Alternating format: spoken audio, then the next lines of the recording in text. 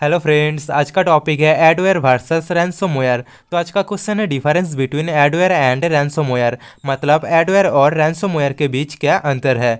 Adware और रैंसोमोयर तो बात करते हैं पहला point adware is a form of malware that contents ads and can collect user activity information for ads purpose यानी एडवेयर जो है, वो मेलवेयर का एक फॉर्म होता है, जो क्या करता है? एड के माध्यम से यूज़र की जो एक्टिविटी इन्फॉर्मेशन है, वो कलेक्ट कर लेता है। मतलब एडवेयर दूसरों के कंप्यूटर में एड चला के यूज़र की जो एक्टिविटी है, वो कलेक्ट करता है। और ransomware is a form of malware designed to block access from system until a ransom fee is paid और रैंसमवेयर क्या है? रैंसमवेयर भी मेलवेयर का एक फॉर्म होता है, जो क्या करता है? कंप्यूटर सिस्टम को ब्लॉक कर देता है। और ब्लॉक करने की बात रैंसमवेयर के जो क्रिएटर है, उसे आप रैंसम फ़ी मतलब कुछ पैसा नहीं देते हो, तब तक आपकी जो कंप्यूटर सिस्टम है, वो ब्लॉक ही रहेगा। और रैंसमवेयर के क्रिएटर को पैसा देने के बाद आपके कंप्यूटर सिस्टम को वो अनब्लॉक कर देता है।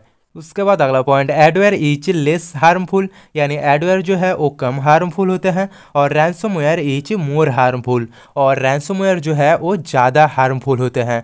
उसके बाद अगला point the main objective of adware is to monitor your interest and display relevant ads यानी एडवेयर की जो मुख्य उद्देश्य होता है, वो होता है आपकी कंप्यूटर सिस्टम में, आपकी रुचि अनुसार, आपके डिस्प्ले में उसी तरह से ऐड को चलाना। और the main objective of ransomware is to take money by gaining access और रैंसोमवेयर की जो मुख्य उद्देश्य होता है, वो होता है दूसरों के कंप्यूटर की एक्सेस लेके उससे पैसा लेना। उसके बाद अगला point it provides profit to the developer by generating online advertisement यानी एडवेयर क्या करता है? एडवेयर की जो डेवलपर है, वो दूसरों की कंप्यूटर में ऑनलाइन एडवर्टाइजमेंट जेनरेट करके उससे लाभ प्रदान करता है। और it provides profit to the ransomware programmers by getting money from user for unlocking the system और रैंसोमवेयर की जो क्रिएटर है, वो क्या करता है? दूसरों की कंप्यूटर सिस्टम को अनलॉक करके उससे पैसा लेता है। और पैसा लेने के बाद रैंसोमवेयर की जो प्रोग्रामर है, उसके लाभ प्रदान होता है। उसके बाद अगला point adware can be detected and removed by the antivirus program यानी एडवेयर को आप डिटेक्ट करके एंटीवायरस प्रोग्राम द्वारा रिमूव कर सकते हो। और the only way of removal is to pay a ransom to its creator और रैंसमवेयर में एक ही तरीका होता है। वो होता है रैंसमवेयर की जो क्रिएटर है, उसको रैंसम पे करना। मतलब जो भी पैसा बोलेगा, वो देना पड़ेगा।